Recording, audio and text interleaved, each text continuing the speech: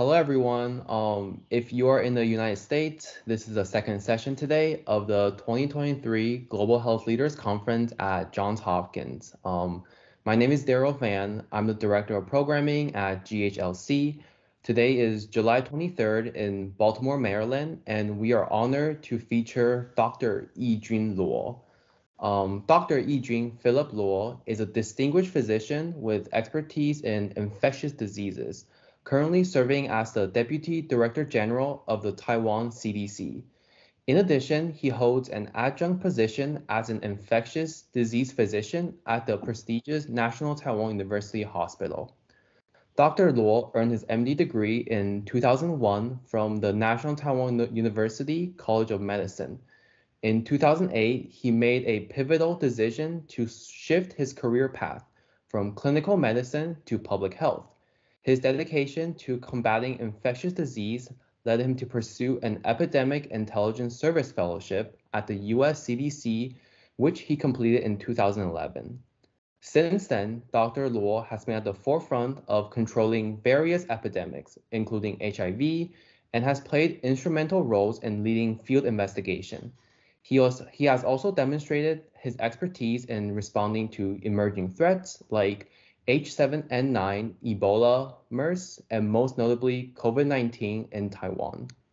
Amidst the ongoing COVID-19 pandemic, Dr. Lo is currently serving as the Deputy Director of the Healthcare Response Team in the COVID-19 Central Epidemic Command Center in Taiwan, contributing significantly to the country's successful efforts in managing the outbreak. Dr. Lo, we're so glad to have you in our program today. Welcome to the Global Health Leaders Conference at Johns Hopkins. Um, please take it away. Thank you. Thank you much, uh, very much, Darrell. Hi, everybody. Uh, it's an honor for me to be invited to this Global Health Leadership Conference. Uh, and I'm humble, and I should say, I don't consider myself as a global health leader yet, but as a local uh, health I mean, regional health, I mean, I, I have tremendous experiences in combating a lot of uh, infectious diseases outbreaks uh, in the country and also within the region. So uh, I'm hopeful that you and your colleagues and your students will be able to share your feedback and uh, critiques after my like 30 minute presentation and uh, give me some uh, some inspiration as well. Let me share my PowerPoint slide. Okay. So when, when we talk about Taiwan, I consider that our COVID experiences illustrate two very important lessons uh, over the past three years. Number one, we represent one of the West Pacific regional countries that using uh, the suppressive suppression approach to successfully uh, reduce or minimize the impact in terms of health uh, severity and also mortality of COVID-19, especially within the first two years. So I'll share some of our regional experiences in terms of uh, the West Pacific region. Also, uh, our experiences illustrate how we learn from mistakes made back 20 years ago when we were dealing with SARS, but we learn from our mistakes and uh, uh evolve that uh, experiences to relatively successful uh, response, especially in the early phase uh, when we deal with COVID-19 uh, first discovered uh, from China. So I'll focus on these two areas in my presentation. about myself, I'm 45 years old. I'm raised and mostly trained in Taiwan, so I'm not a native speaker of English. and I graduated from National Taiwan University and volunteered in a medical mission of Taiwan to Malawi. That was uh, that paved the, the, the, way for me to join public health and also infectious disease uh, fellowship. So later on, after the volunteering, I, I was trained in our university hospital for internal medicine and also infectious diseases. After finishing my clinical training, I was about to uh, go back to Malawi to continue my service but unfortunately, Malawi broke the diplomatic relationship with Taiwan in 2008. So instead, I was invited to join Taiwan CDC as one of the earlier uh, medical officers. And uh, for the past like 15 years, I work at Taiwan CDC, but also had the opportunity to uh, to join US CDC for a special program called Epidemic Intelligence Service. Uh, it's also nicknamed as the Medical Detective Program. So if you are interested, you are most welcome to contact CDC or EIS alumni for this uh, very interesting and important program. After that uh, training program, I I, I was uh, go I, I, went back to Taiwan CDC uh, as a medical officer, then was promoted to the current position as Deputy Director General. But also within the two year of US CDC training, I also had a special opportunity to travel to Nigeria to join the CDC's uh, lead poisoning outbreak investigation there in northern uh, Nigeria. So those were uh, some of my international experiences that also helped me to know more about how to shift from clinical medicine to public health in a smoother way. Uh, as for the three years of COVID-19 response, my participation started uh, on day one, which was 2019, December 31st. Uh, I was already a deputy director general of Taiwan CDC. And uh, uh, on that day, because uh, of a soft, I mean, social media um, unofficial signal showing that there could be a mysterious outbreak involving hospital and also seafood market in Wuhan. And that was a Mandarin Chinese uh, signal on our largest uh, web chat forum uh, called PTT. So I was among the first one to detect that soft signal uh, in the government and then pass on that signal to uh, my boss and also our prime minister's office. So on that day, we decided that it could be a very important and uh, serious threat. We decided to launch all the uh, necessary COVID-19, uh, I mean the pandemic or disease control response since that day on. And on that day, uh, my boss and me and my colleague uh, we also had a press conference uh, nationally to announce that uh, it's a threat and we are doing something to prepare for that. And since that day one until we finally uh, officially announced that the COVID-19 response is over, it's already more than uh, 1,200 days. And uh, on that last year, this year, I was serving as a spokesperson of the our command center. And also I was uh, sitting on the final national COVID-19 press briefing on April 27th. But throughout the three years, I served as uh, many different roles. Uh, I was a face mask uh, and personal protective equipment PPE management officer. And most of the time, I was also the uh, healthcare and long-term care facility response officer. Of course, I I also uh, take care of intersectoral coordination. And also because of the spokesperson role, I, I was involving a lot uh, with those public and risk communication as well. So uh, after the presentation, if you have any questions regarding these aspects, you are also welcome to ask. Uh, looking back on the COVID-19 response globally, well, there is a very critic, critical review uh, on prestigious a journal called Lancet. Uh, there is a Lancet Commission on lessons for the future from the COVID-19 pandemic. And the conclusion of that commission was COVID-19 response globally was a massive failure because a lot of uh, levels worldwide, uh, the failure led to millions of preventable deaths and also reversible reversal of in progress towards uh, SDGs in a lot of countries. And the aspects of failure, including prevention, rationality, transparency, uh, to follow normal public health practice, to uh, to do operational cooperation, and also international solidarity.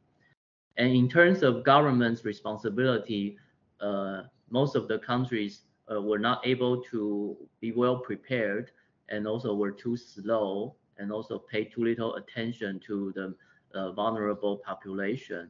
And also uh, the, uh, the consequences were low public trust and uh, also a surge of misinformation worldwide. But in that uh, important article, uh, West Pacific region was specifically point out as somehow relatively successful or better in terms of uh, maintaining relatively low death rates. So the countries that were listed included Australia, China, New Zealand, uh, Republic of Korea, and also Taiwan. And the, the region generally adopted suppression strategies. And uh, uh, when when when we still don't have the vaccine, and when we started to have the vaccine, also we launched big national vaccination campaign. And after making sure that vaccination coverage is good enough, then uh, a lot of the countries shifted to living with the virus, especially because of emergence of the, the less virulent uh, Omicron variant. Uh, so the, the key words of those uh, countries in the West Pacific regions during the early phase was uh, they use tools and uh, also a lot of manpower to do contact tracing, to do testing, to ensure quarantine and isolation are well implemented. When we say quarantine, uh, we talk about those who are not yet ill. When we say isolation, it only refers to those who are already COVID-19 laboratory confirmed. Although they are always uh, like interchangeable in some scenario, but in this presentation, most of the public health presentation, we specifically want to separate quarantine versus isolation to have different meaning. So here you can see from this graph that uh, throughout the almost three years, the blue line indicates the uh, the death numbers, and the different color uh, illustrates uh, the number of cases uh, in different regions. So, uh, like for example, in America, it's, it's, the color is yellow, and you can see uh, from this graph that uh, actually uh, all of the regions in the, in, in the world, they experienced the largest number of cases after Omicron emerged. But for the death number, the death number were already high uh, before Omicron emerged. Actually, in 2021, most of the countries in the world have already experienced their the most serious waves of mortality and the severity of COVID-19. But because of suppression approach in Western Pacific countries, which are uh, illustrated in the red, purple red color, we are um, we are the last region in the world to uh, uh, to shift to living with COVID, and actually largely avoided excess death in the first two years. So even after we started to experience a large number of cases because of Omicron and living with the virus, we still see relatively low number of death numbers uh, on a daily basis compared to the rest of the world. And the reason that we were able to avoid those bad consequences was, uh, well, you can see from the left-hand side, it's the, the map showing the global vaccination rate. And the two, two red circles indicate the West Pacific regions from Japan, Korea, China, Taiwan to uh, New Zealand and Australia, we are relatively among the, the higher vaccination coverage rate uh, compared to the rest of the world. And on the right-hand side, you'll see uh, also West Pacific region uh, has the lowest cumulated deaths from COVID compared to other regions of the, the, the world. So most of the time, uh, if there is a global comparison, uh, the presenters may choose West Pacific region or one of the West Pacific countries to uh, showcase that, uh, well, COVID-19 can be controlled to this kind of scale. And usually we summarize that as a suppression approach.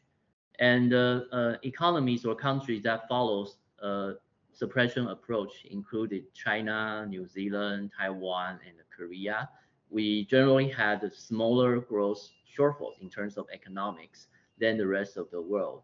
And in a few cases, such as Taiwan, uh, actual GDP uh, was higher than predicted, even because even through uh, throughout the first two years of COVID-19 pandemic. And uh, the the good results shows that uh, the governance of Taiwan's COVID-19 pandemic response may have something that can be shared uh, with the rest of the, the world. So uh, here I, I, I, want to show you another international report. It was made by the International Center for Non-for-Profit Law uh, based in Washington, D.C. And the whole report is, uh, the full report is available online. It just published earlier this year in March 2023 they they try to look at Taiwan's experience looking uh, from a human rights perspective. So our result, public health is a low case number and lower death counts. So we were able to avoid stringent measures such as uh, lockdowns and school and workplace closings for much of the pandemic. On the right hand side, you can see our uh, stringency index. The higher, the stricter. And for Taiwan, we only have 70 days of um, stricter stricter uh, measures that were not yet locked down. Our stage three restriction.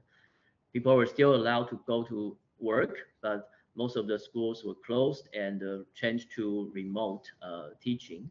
And also the public transportation were still widely available. People can still commute. People can still travel within the country uh, we ask everybody to wear a mask when they go out of their home. Uh, but uh, and they they they well, we also didn't uh, allow people to dine in in a restaurant, but uh, take out and uh, um, vendors on the street are still allowed. So we don't have any hard lockdown throughout the pandemic at all. Compared to US, they actually have um, stricter measures for almost one and a 1.5 years. So uh, Taiwan is among the countries in the world that has a low stringency index. And um, unlike a lot of the countries, because of our previously uh, legal authorization due to SARS legacy 2003, uh, we were careful not to impose a state of emergency, but using the current legal infrastructure to implement a lot of those uh, uh, stringent measures. And also some of the reports uh, highlights were uh, that the pandemic generally concentrated greater executive powers in governments worldwide, leading to widespread infringements of civil liberties. But uh, that was not the case in Taiwan. So uh, some of the good practices that may contribute to uh, response success in Taiwan included uh, the use of daily press conferences, and also social media channels, which I'll give you more information uh, later on. Uh, and also the work between central and the local government and their coordination with the private sector and the civil society, especially in terms of uh, massive production of face masks and also setting up those quarantine services uh, are good examples of how we coordinate with local and the private sector which I'll give you more information as well later on. And also we use a lot of those digital technology, digital tools to help uh, like locate where you can get a mask and also uh, to help uh, contact tracing and also quarantine services. And also we work with fact-checking organizations in order to counter a lot of those information uh, during the pandemic. Local governments were also very, very important. Uh, they work together with uh, civil groups that providing services to the homeless and also vulnerable population affected by the pandemic. So uh, if you think Taiwan has a little bit success of the COVID-19 response, uh, I will actually attribute uh, the success to our SARS legacy. Uh, in this ICNL report, the one of the conclusion is Taiwan's whole of nation approach was built on lessons learned in managing previous disease outbreaks such as SARS in 2003. Uh, SARS stands for severe acute respiratory syndrome. It's a, another coronavirus and that caused a, a regional outbreak in 2003, mainly in East Asia, but uh, also involving Canada as well because of the travel. Uh, and on the right hand side, you can see SARS one was on the front page of the magazine Time uh, during 2003 in May. And, and that also starts the uh, discussion of my presentation on what happened during 2003 when we were dealing with SARS, what, what kind of failure we were experiencing. So looking back uh, in 2003, 20 years ago, uh, you can see some very uh, miserable pictures here. Those were the newspaper headlines. Um, you see some sad faces. On the left-hand side, you see sad faces of those healthcare workers that were forced to be quarantined in this hospital uh, during lockdown. And on the right-hand side, you see a face of uh, a matron that works in that hospital, Matron Chen. Uh, she was the first Taiwanese healthcare worker that died of SARS because of taking care of patients. During that time, a hospital in Taipei City uh, was locked down because of delayed notification and of SARS. More than 1,000 patients and workers were forced to be quarantined inside this hospital with no clear communication and no clear distinction between safe zones and dirty zones. Therefore, hospital transmission continued. In total, 150 persons were infected. 35 of them unfortunately passed away. And this newspaper headline shows that the first sacrificed healthcare worker because of SARS, she and a younger physician in the same hospital were infected by a patient, and both unfortunately died of SARS despite uh, intensive care. This tragic story and the large number of deaths have traumatized every single person in Taiwan, even until now. And the, the memory still lasts this year because it's the 20th anniversary of that SARS outbreak. In Taiwan, if you have a chance to be here uh, during April and uh, and May, you will see two movies in our local cinemas. On the left-hand side is actually an online movie. Uh, it's called The Island Nation Hoping. Hoping is that uh, hospital's name, the, the hospital that went into lockdown in 2003. On the right-hand side, you can see uh, it's a movie in the cinema showing the story during that time of the hospital lockdown.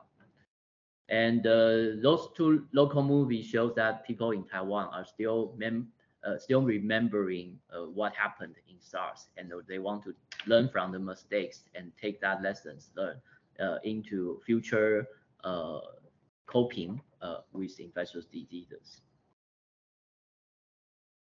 So what really happened? Going back to the beginning, in 2002, actually in late 2002 November, uh, the SARS outbreak started in southern China, and it was not yet well known for what kind of pathogen it was. So they named it atypical pneumonia outbreak. But it took actually several months from November to February, uh, almost four months be uh, before China reported to the WHO. And WHO finally issued a global alert in March 2003. But during that time, before WHO issued the global alert, we already see some of those SARS importation into Taiwan, uh, reaching our borders. Fortunately, those imported cases, uh, which illustrate the first wave of SARS, uh, was brought into control and didn't lead to local spread. So what happened after that initial success was complacency the complacency occurred when oh Taiwan is very uh, was very uh, good at controlling infectious diseases. So there was a complacency about uh, we had to have zero SARS case, zero SARS deaths, and the, success of Taiwan's controlling SARS story had to be told uh, day and a day. And because SARS became a success story to tell, and the story cannot fail, uh, the government wastes precious time advertising uh, achievement but not filling gaps in border control, surveillance reporting, and also hospital preparedness. In the end, underreported cases increased in numbers and the large hospital outbreaks, such as what you saw in the previous slides, became real uh, after mid-April. when the outbreak was finally over because of large, massive quarantine, um, A total of 346 confirmed cases, including 70 deaths, were rec recorded, and 11 of, of those deaths occurring uh, among healthcare workers became a traumatized uh, story of Taiwan. Massive quarantine became the key to uh, control the uh, outbreak. However, the society already paid a heavy price to learn from this tremendous SARS outbreak. The price became public trust. There was a major crisis of public trust in terms of face mask supply, quarantine management, healthcare and laboratory capacity, and also media handling was dysfunctional as well. Um, inadequate uh, government effort coordination, and also there was a high degree stigma towards patients and the frontline workers as well. So uh, we learned from those painful lessons in Taiwan. Uh, after the outbreak, strong political commitment was made, uh, not only to the ruling party but also to the to the opposition party as well. It's a whole society lesson that infrastructure must be reformed and be ready uh, before the next SARS-like outbreak comes to haunt us. Uh, we set up information system to capture official and unofficial epidemic intelligence as quickly and early as possible. Uh, we also revised the law to enable a strong and centralized command system in the case of public health emergency. Resources were mobilized to establish a healthcare network that is able and ready to isolate and care highly contagious patients with workers in full protection and compensation. And more importantly, uh, making sure that clear, transparent communication is happening on a day-to-day -day practices.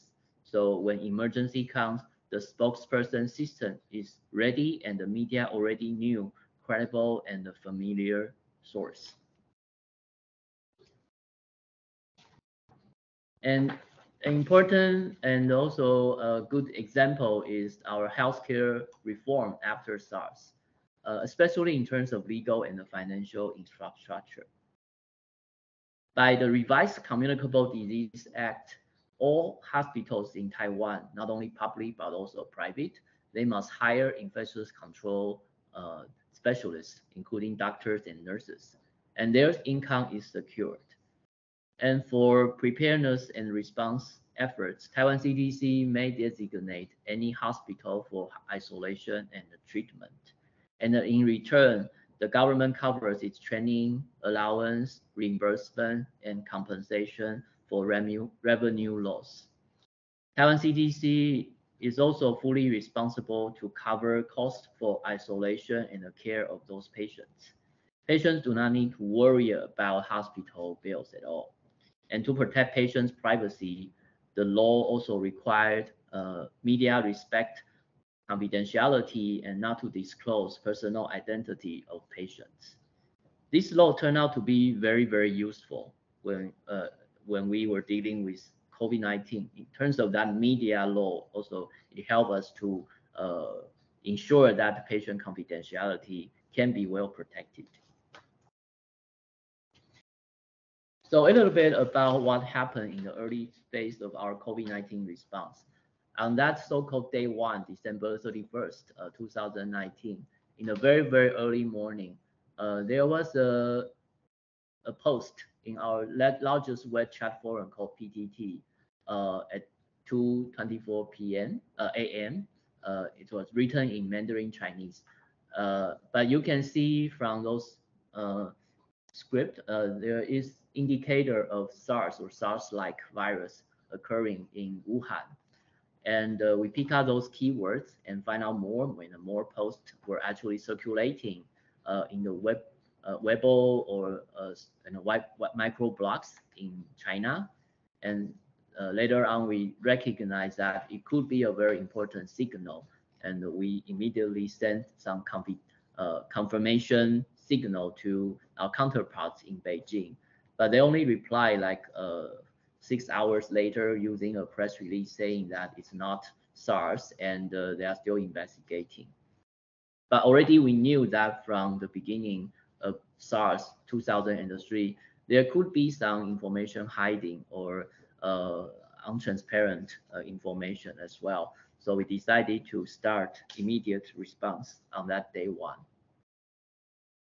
On this graph, you can see uh, on the left-hand side, because of the early morning intelligence on that day one, uh, in the afternoon, we began onboard health exam for all flight passengers coming directly from Wuhan.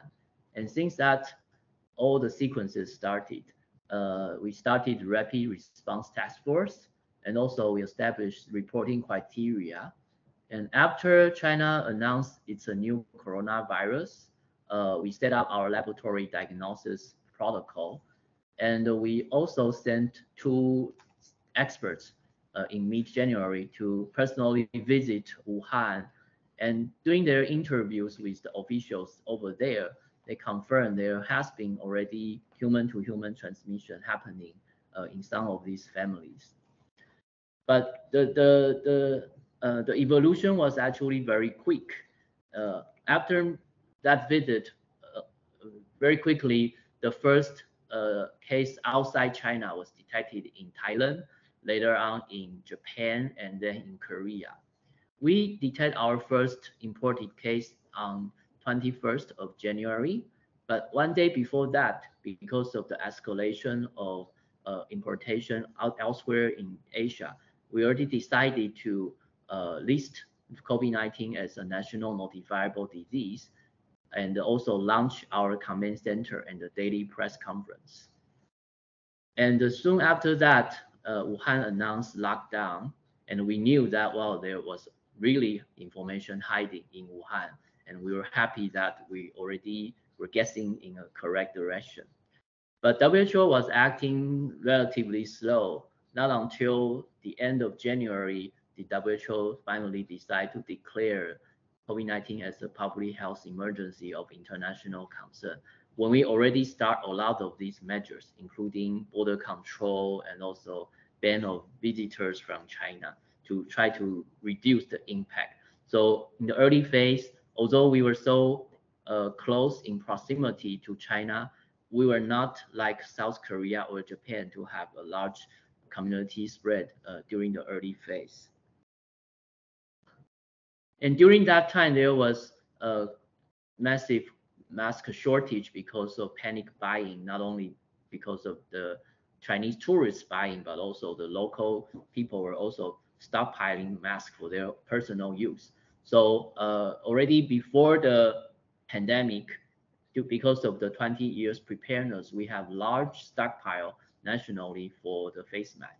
So we immediately released those stockpile and for our citizens to pick up from pharmacies or convenience stores.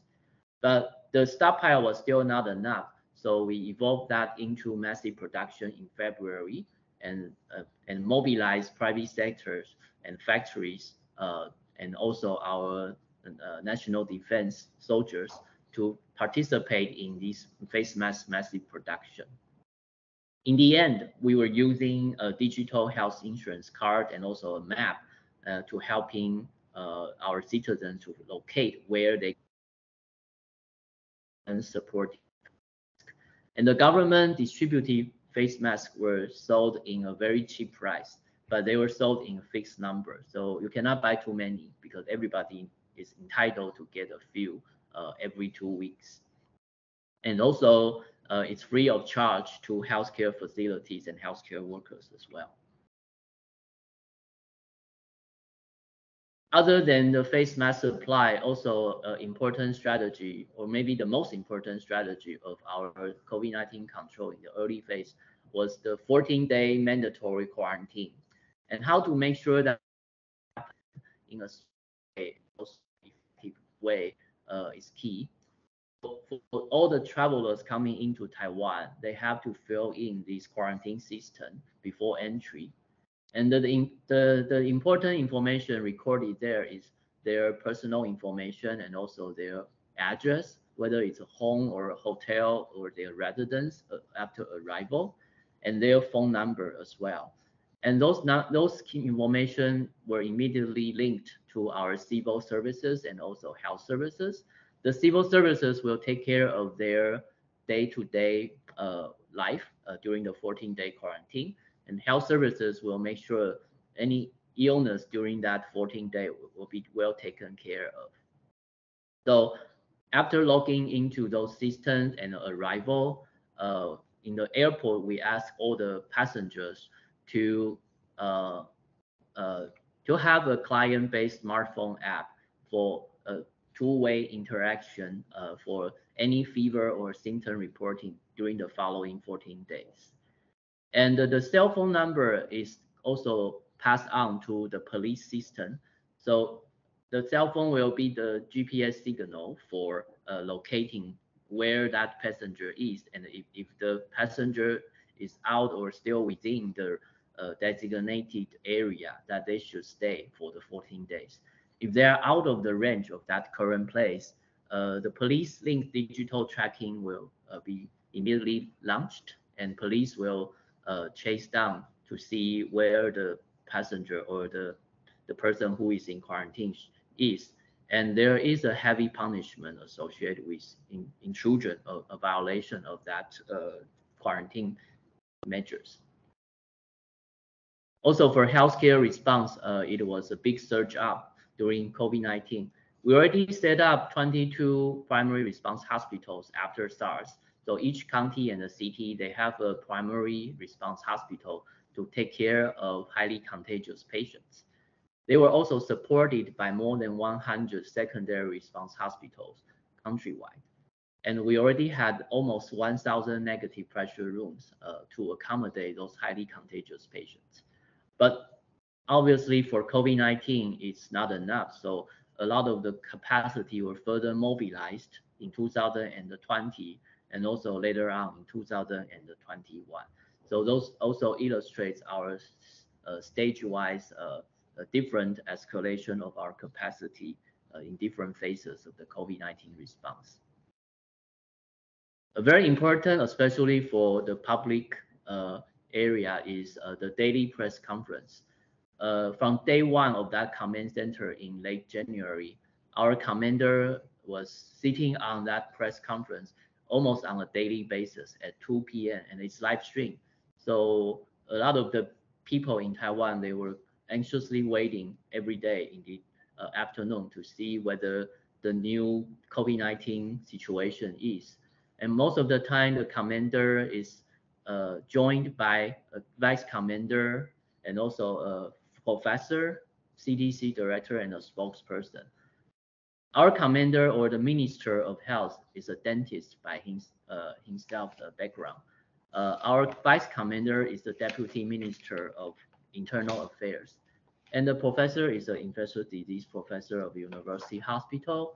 Our CDC director general is a dentist. Our spokesperson is a medical doctor. So a lot of these people sitting on the press conference had medical background and they can answer not only questions about policy, but they can, they can also do public education and answer questions that are related to research or medicine as well. And during that time, uh, every day the commander gives an update on new cases, investigation results, policy, and also answer media's question until no question is raised. Most of the time, the conference will last about one hour, and sometimes if questions are many, uh, they, they, they keep to be live streamed until uh, one hour and 30 minutes as well. And because of that, uh, Commander quickly became very, very familiar uh, to all the people in Taiwan and becomes a highly recognizable icon uh, by uh, the public. So on the left-hand side, you can see a lot of those comics or icons that were made uh, to associate uh, the fight of COVID uh, with our commander. And during that time, especially during the first year, high level public trust is shown by a survey showing that 95% uh, of the businesses in Taiwan were satisfied with government's efforts uh, to control the virus. Well, but the good story didn't last, I mean, forever. Uh, because the emergence of Omicron and the long-lasting uh, control measures, people still people were starting to feel fatigue and people want to open up. So in May 2022, the government in Taiwan decided to change policy from COVID-19 from zero COVID to living with the virus. And this is a report on the Guardian, the newspaper Guardian, uh, and the the uh, the title is called "Once the Zero COVID Poster Child: Taiwan Learns to Live with the Virus." And there were uh, hiccups and pain after changing the the policy because people are so used to very little number of COVID cases in Taiwan. We even had a 256 days of zero COVID uh, record, continuously zero COVID. So when we suddenly started to have thousands or more than 100 thousands of cases on a daily basis or weekly basis, people started to feel anxious and nervous. And uh, the the change also didn't happen in a very smooth way. The government didn't plan to uh, to in advance for the procedures and the preparedness to live with the, the Omicron tsunami. So we were planned uh, for more reactive than proactive. And a lot of people, uh, they were also complaining about policy and the regulation change almost daily and incrementally because we didn't want to lose up all the restrictions uh, just in one day. So like shortening the quarantine days from 14 to 10 days, then to seven days, then to five days. That's more like a gradual relaxation. But for those people who are not used to like gradual policy change, it could be confusing and also it could be difficult for the local partners to implement when the policy keep changing on a like a weekly or bi-weekly basis. And so in May 2002, uh, uh, a polling uh, during that time found almost like 50-50 split of supporting or not supporting the living with COVID policy.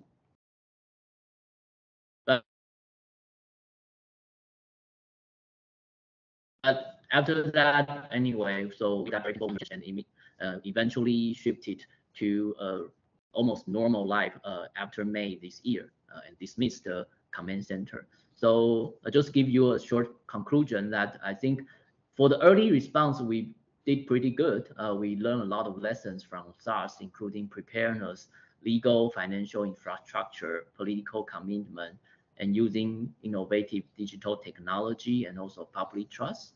But uh, some of the painful lessons also were learned uh, throughout the three years of COVID-19. That is number one, public trust and cooperation, they cannot last long it leads to people's fatigue and also misinformation circulation. And also, a lot of people were complaining that uh, we were not living just for health, for good health, or for public health. A lot of these COVID measures were still compromising economics and also uh, education or other aspects. So crosstalks and listening to different perspectives, I think, will be the key for our post-pandemic preparedness uh, for a more sustainable and response in the future. So that's my uh, short presentation, and I uh, I'm sending back the microphone to Darrell for any question that can be picked up from the audience. Thank you very much. All right, thank you so much, Dr. Lo, for the um, informative presentation. Um, so at this time, um, if any of you guys have any questions, um, please use the raise hand function in Microsoft Teams, um, and I will call on your name. Um, when I call on your name, you can unmute and you can ask your questions. So the first person I see is Enrico Hernandez. So my question is that I noticed that at least in American political discourse, anti-science rhetoric has becoming uh, increasingly more rampant. How do you convince people that uh, scientific and health issues such as COVID-19, environmental issues, and global warming exist and to be taken seriously when they don't necessarily value science or deny its existence as a whole? Okay, uh, I expect that kind of question to be emerged. It's related to like uh, comparison between two countries and uh, how we can like translate our lessons to another country. I'll have to say it's very difficult to do that. You can see the culture in East Asia. We are very habitual to wear a mask, and we tend to like listen to professional and the government's recommendations more than probably the Western society. So that's like the foundation or basis of those uh, issues. Still, I think in terms of other like environmental or global health, global warming issues, it's not yet that kind of high level in Taiwan yet in the in the society. But in terms of disease circulating uh, like SARS or infectious disease, because of that SARS uh, tra traumatization in 2003, a lot of people were still vividly remembering what happened during that time, and they don't want to repeat the same mistakes. So I think people learn from mistakes. That's why my title is No Pain, No Gain. And I think uh, because of the COVID-19 pandemic, uh, the global population or the global society has a good chance to drive that uh, momentum to like creating a better preparedness structure and a reform for the next highly contagious infectious disease. But that does not necessarily translate to other important global health issues. People are just um, attentive to the, the most impressive or the most uh, immediate uh, experiences they had. So we cannot just think, well, it, it's very easy to translate that to other aspects. And how do I, how do we convince our people? I don't think it's our, we convince the people. It's actually the the previous history or the previous experiences that already convince the people. We're just recalling or reminding people that, okay, what happened during that time should not be repeated here. And our healthcare community was especially very uh, vigilant and also resilient in terms of educating their patients and their colleagues that the same mistakes in SARS cannot be repeated. So uh, it's not really the government's effort, I think, in terms of convincing people. We tried our best, but some most of the time, especially during an election year, it's very difficult to convince people of all different uh, backgrounds. Uh, so that was also the case 2022 last year when we uh, decided to change our policy to living with COVID, but it happened to be an election year in Taiwan. So the, the convincing became very, very difficult and was also manipulated by uh, some of the politicians. Next one, Arkan Singhao. Um, sorry if I'm mispronouncing your name. Uh, so there's another disease called uh, monkeypox that, while it is not as big as COVID, the WHO has declared it a global health emergency. How do you believe if if the disease does become big, and with Taiwan's experience, how do you believe we should rise to the occasion if it were to become another global pandemic? So uh, the global health governance is, um, I mean, it's poor uh, of the COVID uh, pandemic. I mean, people people blame the governments for acting too slow and also like not very attentive to disease threats and the population. And I hope most of the government in the in the world can learn for us, uh, we are revising our laws and also our regulations to try to shape a more sustainable and also inclusive uh, public health infrastructure in order to encounter uh, the future crisis. But in terms of the region, I think a lot of the countries in the region, uh, the, the, West Pacific region, uh, are thinking of setting up a CDC-like agency for example, Japan, they didn't have a CDC. Although you have a CDC in the United States, it doesn't mean every single country in the world has a CDC. We have a CDC in Taiwan in 2000 uh, because we also had a big childhood uh, enterovirus outbreak back in the uh, 1998 that helped reform the structure from a very separate uh, and isolated uh, disease prevention network into a cooperative and unity agency. Japan was also like that. And Japan is thinking of setting up a CDC to integrate services and also control agency and authority together and research. Australia is also thinking of setting up a CDC. Singapore is also setting up a CDC. So uh, aspect is how this country will act based on their previous lessons to more integrate and also invest in public health in terms of combating those infectious diseases. Uh, for WHO, they are working on establishing a newer uh, treaty, global treaty to combat the pandemics, but a lot of the countries were still in disagreement. And uh, also there is another platform that is trying to be created for collecting pathogens internationally for uh, public health in, in significant uh, for public health significance. But still, a lot of countries were in dis uh, disagreement because uh, collecting pathogens may be useful for detection and also research purpose, but also in terms of commercial or, or manufacturer's point of view, these pathogens could be a very good like property of that researcher or the the, the vaccine company.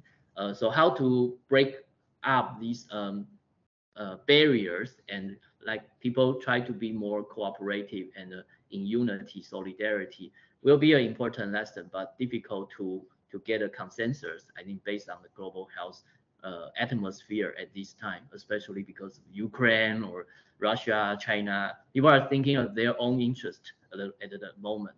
So as a country and the region, we are trying our best to protect our own people, but how to do more like internationally or between countries and country.